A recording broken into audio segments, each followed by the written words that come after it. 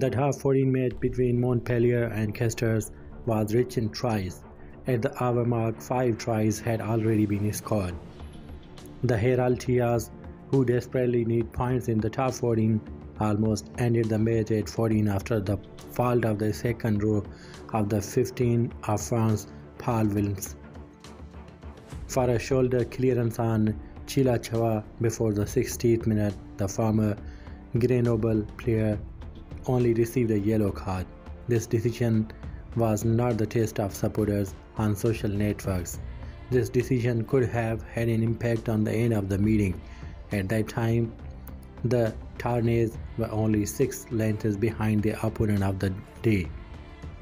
A few weeks before the start of the Six Nations tournament, the slightest red card could be determinantal for the player of the 15th of the France, who remind you who was forced to withdraw from the World Cup due to an injury. Thanks for watching. Stay connected for more.